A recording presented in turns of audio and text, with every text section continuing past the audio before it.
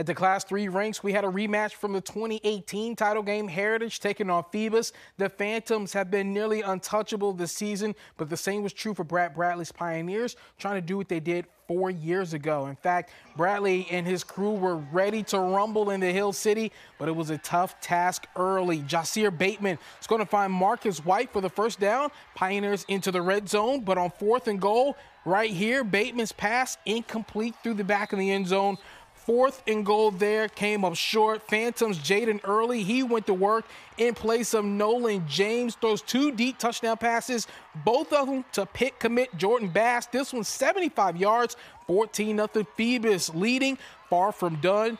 Early to Xavier Rogers, 16 yard strike, 27 0 Phantoms rolling. We're still in the first half after a fumble. Tyrion Taylor joins the party 34 0 at halftime. Phantoms leading this one second half after a Phoebus fumble. Jasir Bateman from one yard out. It's 34 to 7, but the damage was already done. Early finished with 236 passing yards. Taylor had 100 yards rushing. Phoebus wins back to back titles with a 48 to 7 victory they're going to learn in life. You know, there, there's all times of bumps, there's all kinds of um, roadblocks, but these kids got nothing to be ashamed of. I love them, and you know, got 15 seniors, man. They're good kids. And uh, we are a tight knit group. We, we fought, and we can go to bed tonight knowing we did everything possible to try to win this game. Special group of young men. I mean, we all believe in one another. Um, you know, Jaden Early is a system kid. He's been playing since eighth grade.